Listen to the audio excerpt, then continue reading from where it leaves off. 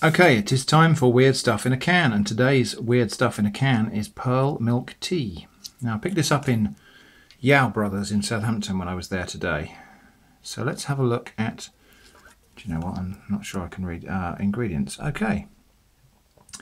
Ingredients, water, tapioca ball, 7.8%, sugar, milk powder, black tea. That's it. So I think I know what this is. This is bubble tea. So let's open it up and have a look.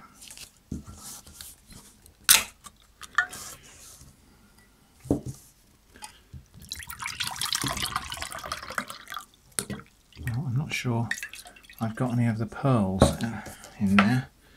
Let's have a look and see if I have. No, I haven't. Okay, let's pour out the rest of the can into this larger glass. There they are. Look, there they are, floating around in the bottom of this half of the drink. So let's have a look and see what these little pearls actually are. Hmm.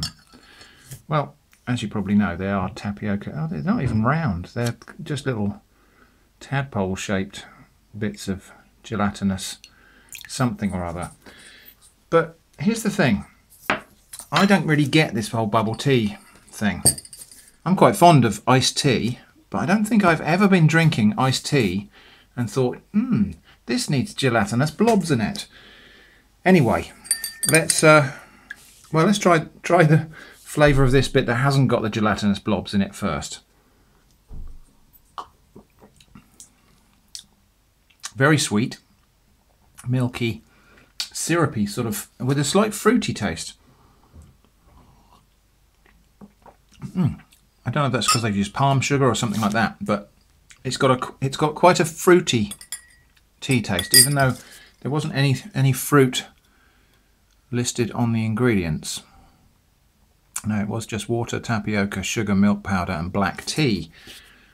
Okay, well, I guess we can't put this off. Let's try a little bit of this together with some of the the pearls, so-called pearls.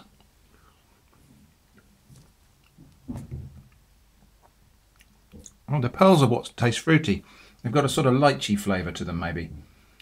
Yeah, fragrant, sort of almost floral, fruity flavour. Mm, they're not actually bad, you know. They're nothing, nothing nasty about these.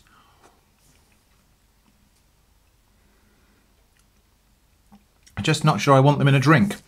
The thing with bubble tea is you're often served a very thick straw with it, and as you're drinking it through the straw, little blobs of this, uh, well, so-called bubbles, but these little gelatinous tapioca blobs come up the straw and surprise you. I guess maybe that's the thrill of the thing. Maybe that's what people like. I don't know.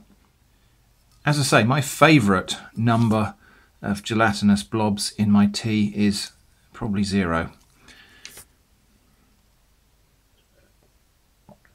This is a little bit sweet for my liking as well. I can't find this refreshing really. Uh, it's interesting and I'm glad I've tried it. But I wouldn't call that a refreshing drink. It's very syrupy sweet. But not unpleasant. There's nothing unpleasant about this at all. But I think it is a bit of a weird idea having blobs in your tea. So thanks for watching and I hope to see you again soon.